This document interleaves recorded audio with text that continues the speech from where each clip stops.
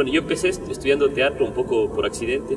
Desde niño siempre quise ser pintor o diseñador. Cuando estaba terminando el colegio, entre el colegio y la universidad, porque iba a estudiar diseño gráfico en la Universidad de la SUAY, vine acá a la Casa de la Cultura para inscribirme solo un cupo que era para teatro. Había visto alguna obra, pero no es que, que me llamaba la atención ser actor, me gustaba ver.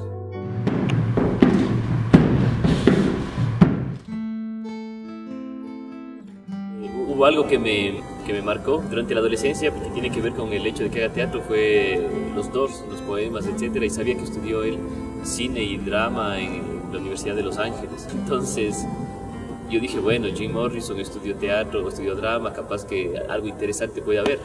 Así que empecé a escribir, no solo por eso, pero fue un impulso. Me inscribí en el taller de teatro y tuve muy buenos profesores, fue increíble para mí. Tres meses eh, cuatro horas diarias, todas las tardes acá en, una sala pequeña que había en el otro edificio de la Casa de la Cultura, con profesores como Felipe Serrano, que era profesor de mimo, Choquilla Durán, que era profesor de clown, y Pancho Aguirre, actuación. E, ese taller también marcó mi forma de trabajar hasta ahora, porque tenía actuación, mimo y clown.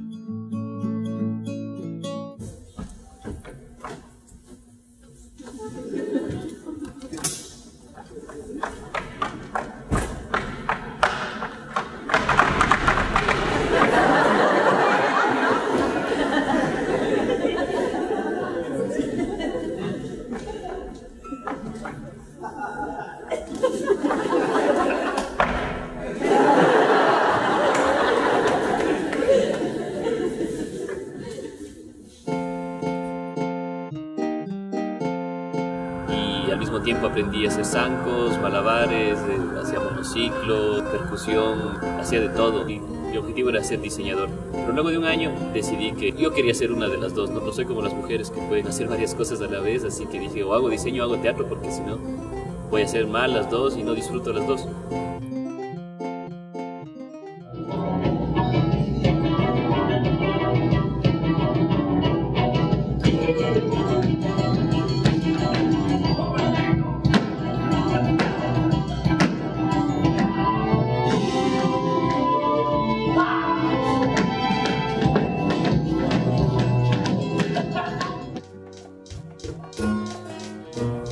Después de un año decidí hacer teatro y dejar el diseño gráfico. Yo me decía, bueno, igual uno puede estudiar teatro, entrenar mucho, ensayar mucho, pero nunca se sabe si la obra va a estar buena o no. Y en diseño gráfico tal vez me parecía algo más concreto y tal vez más predecible, quizás. No estoy seguro, me veía avanzando en las maquetas, en los diseños y tener una oficina de diseño gráfico, tener clientes y bueno, empezar a a trabajar en eso. Yo sé que para un diseñador gráfico sería un poco tonto escuchar esto, va a decir, no, no es tan fácil, ¿no? Y dije, el teatro me parecía más emocionante. Y creo que también, porque en el teatro yo hacía ejercicios, como que se mezclaban varias cosas que me gustaban. Uno, la poesía, la literatura siempre me gustó. Y leíamos textos de Neruda, de, no sé, de García Lorca,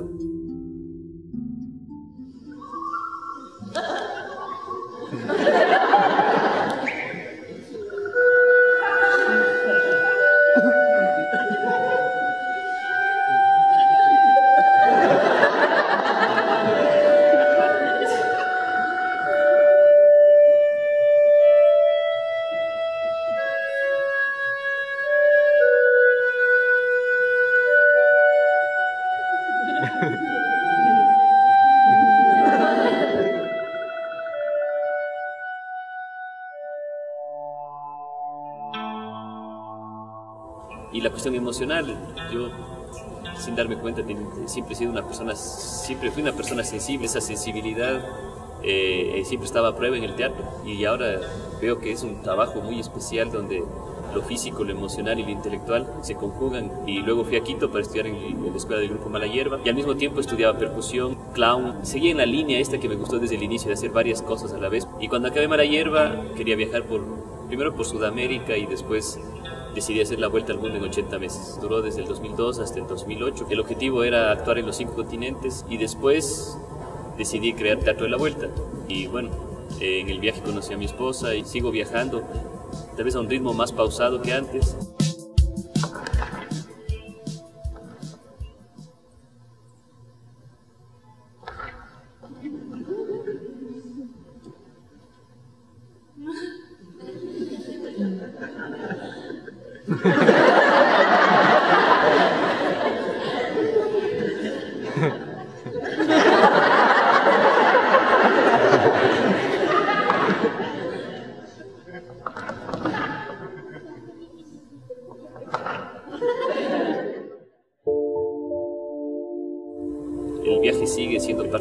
Fundamental de, mi trabajo, sobre todo en, la obra Plush, que es donde se ve más esta influencia del viaje. Bueno, también en las otras obras, creo que el viaje, el, ser nómada ha influenciado mucho, no tener un lugar definido, ni un tiempo ni un espacio definido en las obras, que los personajes estén un poco, no sabemos en dónde están, en qué tiempo, en qué lugar, tiene que ver con mi itinerancia porque no estoy enraizado en ningún lado. Yo soy muy malo para dar consejos, siempre me, me parece que estoy diciendo una tontería o cualquier cosa. Sobre todo porque pienso que el consejo es para quien lo da. Entonces, me da miedo.